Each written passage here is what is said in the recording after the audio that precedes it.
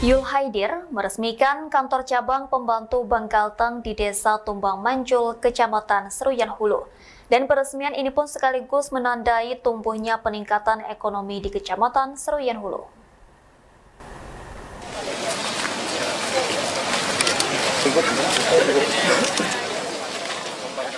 Bupati Seruyan Yul Haidir meresmikan kantor cabang pembantu di Desa Tumbang Manjul, Kecamatan Seruyan Hulu.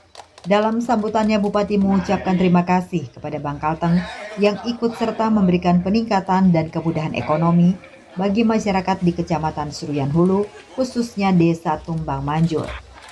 Hadirnya kantor cabang pembantu di Desa Tumbang Manjul akan memberikan kemudahan masyarakat dalam melakukan transaksi perbankan, khususnya peminjaman modal kerja. Sampaikan supaya warga mengetahui agar warga juga mendukung nih Bapak Kalteng bank kita, milik kita bersama.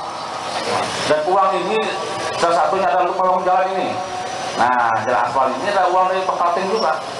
Nah, kontribusi dari Bapak Ibu semuanya yang ikut menabung di Bank Kalteng. Nah, itu ya Bapak Ibu semua supaya diketahui bahwa Bank Kalteng ini milik kita semuanya warga. Surya juga warga Kalteng. Nah, saya berharap dengan bersama ini maka kita dukung ini keberadaannya.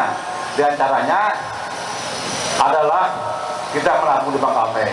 Transaksi keuangan kita melabung di Bank Kalteng. Yul Haidir juga berharap pembukaan kantor cabang pembantu dapat dilakukan di daerah-daerah terpencil sehingga roda perekonomian dapat cepat bergerak. Dari Kabupaten Surian, Kalimantan Tengah, Ragil Riyandi melaporkan.